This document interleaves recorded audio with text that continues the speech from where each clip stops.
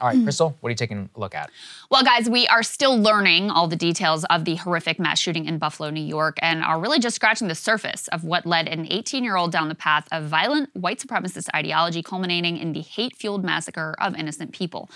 Already, though, Fox News is out there floating some of the dumbest possible explanations. It seems like these things have gotten so much worse since video uh, games became so realistic and so violent.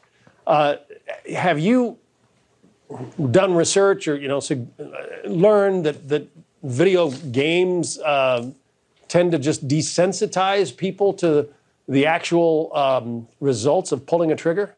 This is such a classic, like vintage conservative response as to almost be quaint. So, once again, no, video games do not cause violent behavior. It turns out kids and adults alike are perfectly capable of distinguishing between video game violence and real life violence. And before you ask, this isn't about rap music or violent movies either. Not to be undone, however, Democratic Governor of New York, Kathy Hochul, is using this shooting to call for tech companies to engage in more censorship. Here with me now is New York Governor Kathy Hochul. Uh, Governor, thank you so much for joining me. I'm sorry it's under these conditions. Can you first tell us what more you've learned about the shooter's motive and this purported manifesto? Well, this manifesto tells everything to us, and that is what's so bone chilling about it is that there is the ability for people to write and subscribe to such uh, philosophies filled with hate, the white supremacist acts of terrorism that are being fomented on social media, and to know that what this one individual did has been shared with the rest of the world, as well as the live streaming of this military style execution that occurred in the homes in the streets of my hometown. And that is what is so fundamentally disturbing about this, that this is not just uh, long time ago, members of the KKK would sit in a hall and plot what they're going to do in their community. This spreads like a virus. And that's why I'm calling on the CEOs of all the social media platforms to examine their policies and to be able to look me in the eye and tell me that everything is being done that they can to make sure that this information is not spread. They have to be able to identify when information like this, the second it hits the platform, it needs to be taken down because this is spreading like wildfire. These theories mm-hmm. that results in the radicalization of a young person sitting in their house is deeply scary and yeah. it's something that has to be dealt with. Now, it is true that this killer says that he was radicalized online. It is also true that hateful ideologies somehow managed to spread before there was 4chan. In fact, the Klan was quite adept at getting their message out through magazines and newspapers. And I personally would rather know what these violent extremists are up to and how they've arrived at their twisted views than to allow them to fester in the dark corners of the internet where no dissenting voices are around to challenge them whatsoever. In any case, begging tech oligarchs to claim more power is unlikely to be the answer to any of our society's problems. Now, another common causal explanation has been the replacement rhetoric embraced by Republican media figures, including Tucker Carlson and Republican elected leaders. The basic play here is to talk in apocalyptic terms about declines in fertility rates, demographic change, and immigration, and to posit that this is all being done intentionally by Democratic elites in order to cement a permanent electoral majority. Now, I know that the left and all the little gatekeepers on Twitter become literally hysterical if you use the term replacement, if you suggest that the Democratic Party is trying to replace the current electorate, the voters now casting ballots, with new people, more obedient voters from the third world. But they become hysterical because that's that's what's happening actually. Let's just say it, that's mm. true. Let's say that again for emphasis because it is the secret to the entire immigration debate. Demographic change is the key to the Democratic Party's political ambitions. In other words, you're being replaced and there's nothing you can do about it. So shut up. I mean, they're trying to change the population of the United States. And they hate it when you say that because it's true. Our country's being invaded by the rest of the world. Let me just state unequivocally the country's being stolen from American citizens as we watch. In political terms, this policy is called the Great Replacement, the replacement of legacy Americans with more obedient people from faraway countries. Placement of legacy Americans with more obedient people from faraway countries. Listen, first of all, the scapegoating of immigrants, fear mongering about your country being stolen from you by invaders, it's gross. It's hateful. It does, in fact, echo the replacement theory ideology which the Buffalo shooter says motivated him to kill. Second of all, this doesn't honestly sound much different from the standard issue conservative rhetoric that I have heard my entire life about this or that bad group threatening the white American way of life. It's pretty standard issue Southern strategy type of stuff. Third, if this is actually the Democratic plan for electoral dominance, they are extremely shitty at it. After all, the only demographic group that Democrats actually improved with in 2020 was white men. If there is one Obama era talking point which has been thoroughly discredited, it's that America's shifting demographics would automatically inure to the benefit of the Democratic Party.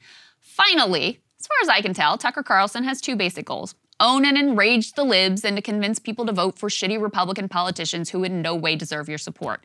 In service of these two goals, he engages in all sorts of contemptible rhetoric that is no doubt bad for the country, even if you can't and should not draw a direct line between Tucker monologues and racist, massacres. But frankly, I wish that our problems were as easy to solve as taking Tucker Carlson off the air or hmm. censoring hate speech on the internet or toning down the violence in video games. None of these really addresses any of the root causes of the scourge of hate and violence in our society. To really deal with this, we're gonna have to go a lot deeper than a Tucker monologue. Now, one of the places to start that gets little mainstream discussion is the consistent relationship between our wars and interventions abroad and spikes in extremist violence at home. Now, it kind of makes some sense, right? You train a bunch of young men to kill, you desensitize them to human life, you normalize violence. They experience a profound adrenaline rush, sense of camaraderie, and shared purpose, all of which vanishes when they return home, many with injuries to either their body or their brain or both. Now, you layer on top of that the frequent abandonment of veterans after their service and the emasculation of struggling to reintegrate into society, and that leaves you with the potentially toxic brew.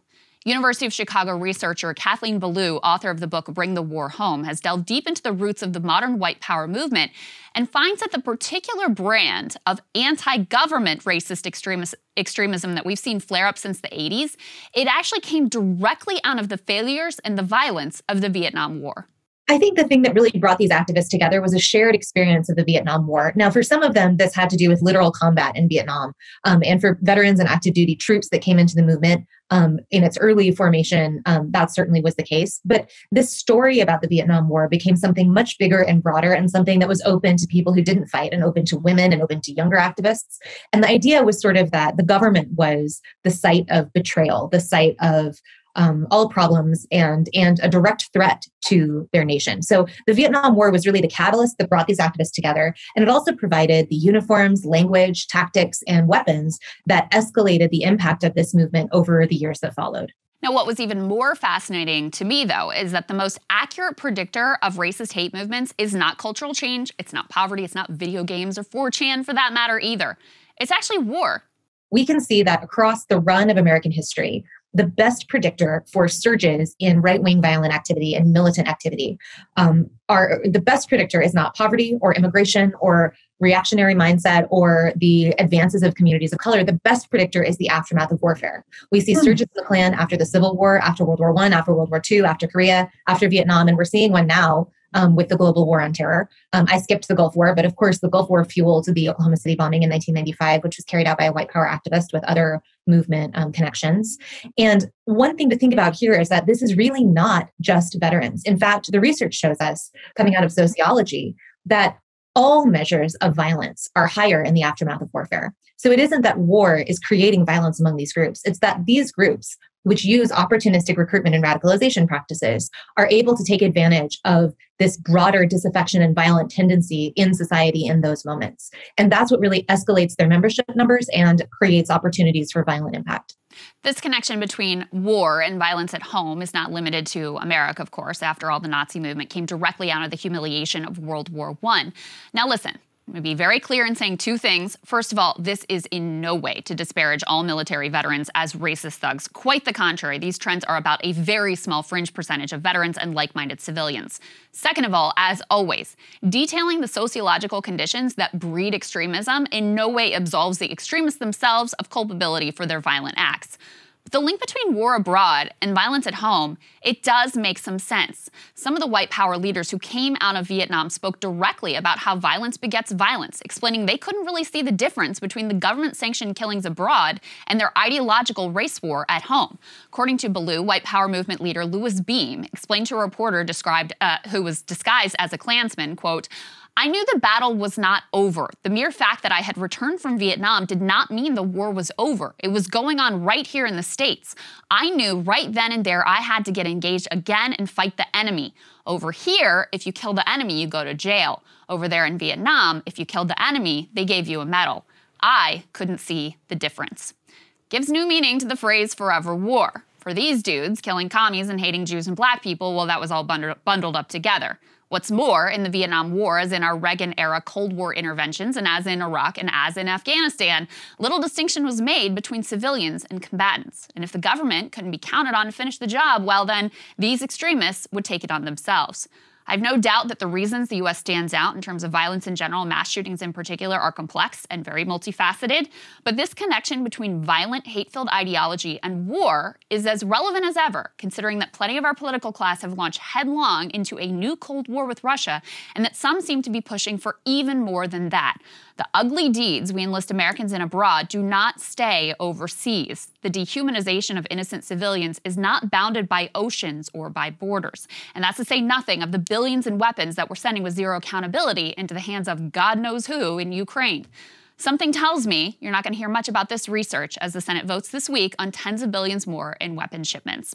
Um, Saagar, you know, it's very easy, and I feel like liberals like to do this. Cable news is ripping us apart, dividing the country, making it impossible to function as a society, and making it impossible to know just what is true and what is false.